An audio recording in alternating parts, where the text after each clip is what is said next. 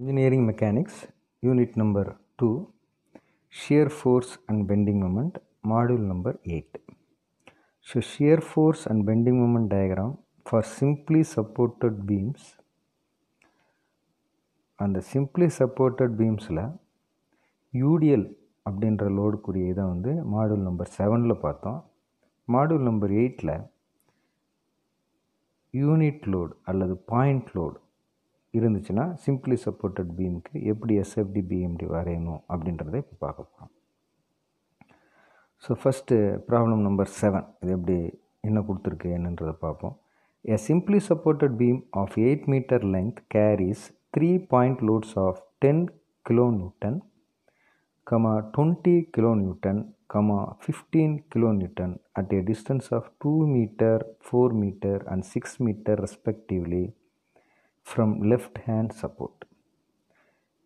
Draw SFD and BMD இதான் நம்ம கொடுத்துருக்கிற கொஸ்டின் ஸோ இந்த கொஸ்டினில் வச்சுட்டு நம்ம முதல்ல என்ன பண்ணோம் அப்படின்னா பீம் வரையணும். ஸோ பீம்னுடைய லெங்க் வந்து எயிட் மீட்டர் எயிட் மீட்டருக்கு ஒரு பீம் வரைகிறோம் ரெண்டு சைடும் சப்போர்ட் போட்டுக்கிறோம். போட்டதுக்கப்புறம் it carries three point loads of ten twenty and fifteen at a distance of two four and six metre from left end லெஃப்ட்லேருந்து ரெண்டு மீட்டரில் முதல் லோடு அது என்னது? டென் கிலோமீட்டர் அடுத்து ரெண்டாவது லோடு அது வந்து எவ்வளவு? டுவெண்ட்டி கிலோமீட்டர் அடுத்து வந்து ஆறு மீட்டரில் மூணாவது. அது வந்து ஃபிஃப்டீன் கிலோமீட்டர் ஸோ இந்த லோடெல்லாம் மார்க் பண்ணிக்கிறோம். மார்க் பண்ணிவிட்டு அதுக்கப்புறம் ஆறு மொத்தம் நமக்கு வந்து மொத்தம் எயிட் மீட்டர்ஸ் அப்படின்னா ஆறு மீட்டர் போச்சுன்னா மீதி இருக்கிறது எவ்வளோ டூ மீட்டர் அந்த டூ மீட்டர் தான் கடைசியில் வந்து மார்க் பண்ணியிருக்கிறோம் ஸோ கடைசியில் வந்து டூ மீட்டர் அப்படின்னு நீங்கள் மார்க் பண்ணியிருக்கிறோம் ஸோ முதல்ல வந்து என்ன பண்ணணும்? எல்லா டிஸ்டன்ஸையும் நம்ம வந்து இந்த பீமில் மார்க் பண்ணிடணும். எல்லா லோடையும் மார்க் பண்ணிக்கிறோம். அடுத்து என்ன கண்டுபிடிக்கணும் அப்படின்னா ரியாக்ஷன்ஸ் கண்டுபிடிக்கணும். ஆர்ஏ ஆர்பி ரெண்டு ரியாக்ஷனை கண்டுபிடிக்கணும்.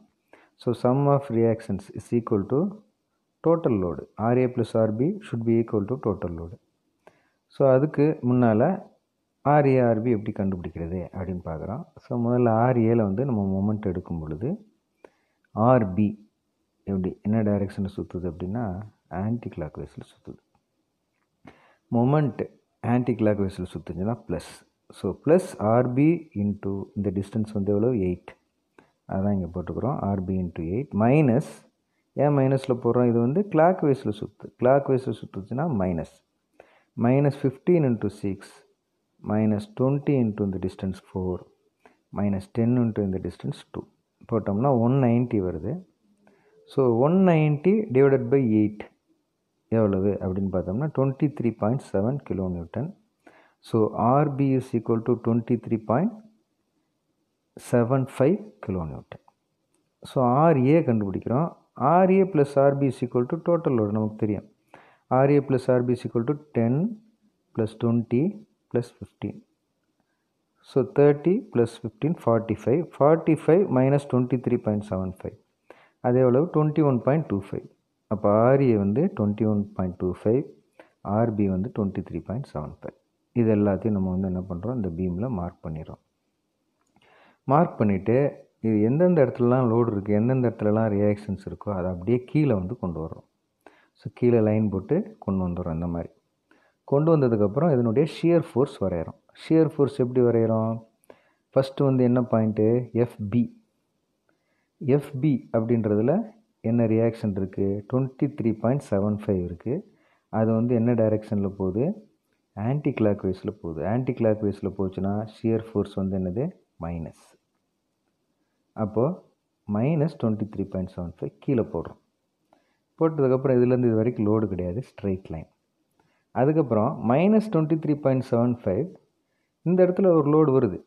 அதாவது அட் இ இயில் வந்து எவ்வளோ இருக்குது ஏற்கனவே twenty three point seven five கீழே மேலே போகுது அதை மைனஸ்னு எடுத்துக்கிறோம் ஃபிஃப்டின்றது கீழே வருது கிளாக் வைஸ்ன்றதுனால அதை வந்து என்ன பண்ணுறோம் ப்ளஸ்ன்னு எடுத்துக்கிறோம். அப்போ minus twenty three point seven five plus plus fifteen போட்டோம்னா eight point seven five so eight point seven five மேலே இப்படி மார்க் பண்ணிக்கிறோம். மார்க் பண்ணிவிட்டு இடையில லோடு இல்லாதனால ஸ்ட்ரைட் திருப்பி twenty three point seven five minus twenty three point seven five எங்கள் deal எடுக்கும்போது என்னென்ன வரணும்? இந்த இடத்துல எடுக்கும் பொழுது இந்த twenty three point seven five minus plus fifteen plus twenty போட்டோம்னா லெவன் பாயிண்ட் டூ ஃபைவ் வருது. ஸோ இந்த லெவன் பாயிண்ட் டூ ஃபைவ் வந்து ப்ளஸ்ஸு அப்போ ப்ளஸ்னால் வந்து எங்கே வரணும்?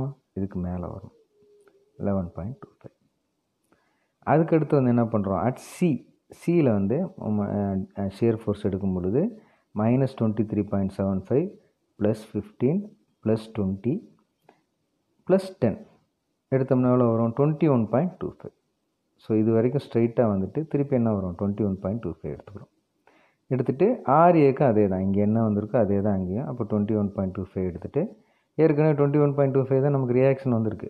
அப்போ ஜீரோவில் ஜாயின் பண்ணிட்டோம்னா முடிஞ்சு ஸோ இதான் வந்து இதனுடைய ஷியர் ஃபோர்ஸ் டயர் ஸோ பாதி மைனஸ்லேயும் பாதி ப்ளஸ்லேயும் இருக்குது இந்த கீழே இருக்கக்கூடிய பகுதியெல்லாம் மைனஸ் மேலே இருக்கிறதெல்லாம் ப்ளஸ் அடுத்து இதனுடைய பெண்டிங் மூமெண்ட் எடுக்கிறோம். பெண்டிங் மூமெண்ட் எடுக்கும் பொழுது அட் ஆர்பி ஆர்பி வந்து ஜீரோ ஸோ ஜீரோ அடுத்து e, e இ ஈயில் வந்து மொமெண்ட் எடுக்கும் பொழுது அட் இ எடுக்கும் பொழுது ஆர்பி இன்ட்டு டூ ஆர்பி வந்து நமக்கு எவ்வளோன்னு தெரியும்? Twenty three point seven five so twenty three point seven five into two போட்டோம்னா இது வந்து ப்ளஸ் ஏன்னா நமக்கு ஆன்டி கிளாக் வைஸ் வந்து பெண்டிங் மூமெண்ட்டில் வந்து என்னது? ப்ளஸ் ஸோ அதனால் ப்ளஸ்ன்றதை போடுறோம். ரைட் இப்போ அடுத்து அந்த twenty three point seven five into two வந்து ஃபார்ட்டி செவன் பாயிண்ட் ஃபைவ் அதை இங்கே மார்க் பண்ணிக்கிறோம். அதுக்கப்புறம் பெண்டிங் மூமெண்ட் அட் டி இந்த இடத்துலேருந்து பெண்டிங் மூமெண்ட் எடுக்கும் பொழுது twenty three point seven five into four plus minus fifteen into two போட்டோம்னா சிக்ஸ்டி ஃபைவ் கிலோமீட்டர் மீட்டர் அது இங்கே மார்க் பண்ணுறோம் ஸ்ட்ரெயிட் லைன் நான் எல்லாமே ஸ்ட்ரெயிட் லைனாக போட்டு மார்க் பண்ணிக்கிறோம். அட் சி எடுக்கும் பொழுது twenty three point seven five into six minus fifteen into four minus twenty into two போட்டோம்னா forty five five point five kilometre metre வருது. இப்போ இதெல்லாமே ஏன் ஸ்ட்ரைட்டாக வரைகிறோம் அப்படின்னா பாயிண்ட் லோடுக்கு வந்து இங்கே வந்து shear force diagram straight line bending moment diagram வந்து இன்க்ளைன்ட் லைன் ஸோ தான் இன்க்ளைன்டு ஸ்ட்ரெயிட் லைன் வரையணும் நம்ம. இன்க்ளைன் ஸ்ட்ரெயிட் லைன் வரைஞ்சிருப்போம். அதுதான் இன்க்ளைன் ஸ்ட்ரெயிட் லைன் வரைஞ்சிருக்கிறோம். அடுத்து பெண்டிங் மூமெண்ட் அட் ஏ ஏல வந்து பெண்டிங் மூமெண்ட் எடுக்கிறோம். எடுக்கும் பொழுது நமக்கு வந்து கண்டிப்பாக ஜீரோ வரணும். வருதா இல்லையான்னு செக் பண்ணிக்கலாம். Twenty three point seven five into eight minus fifteen into six minus twenty into four minus ten into two போட்டோம்னா கண்டிப்பாக இது வந்து ஜீரோ வரும். வந்துச்சுன்னா தான் நம்ம போட்ட ப்ராப்ளம் கரெக்ட் ஸோ அதை வந்து செக் பண்ணிக்கலாம். கரெக்டாக இல்லையா? அப்போ பெண்டிங் மூமெண்ட் அட்டு ஏ வந்து ஜீரோ வரும். ஸோ இதோட இந்த இது வந்து முடிஞ்சிருது. அதாவது இதில் வந்து என்ன நம்ம நான் வச்சுக்கணும் அப்படின்னா பாயிண்ட் லோடுக்கு வந்து சியர் ஃபோர்ஸ் வந்து ஸ்ட்ரெயிட் லைன் பெண்டிங் மூமெண்ட் வந்து என்னென்னா இன்க்ளைன்டு லைன் ஸோ இதை வந்து இந்த ப்ராப்ளத்தில் நம்ம நான் வச்சுக்க வேண்டியது. ஸோ இதோட இந்த ப்ராப்ளம் வந்து முடிஞ்சு அடுத்த ப்ராப்ளத்தை அடுத்த மாடியூலில் பார்ப்போம்.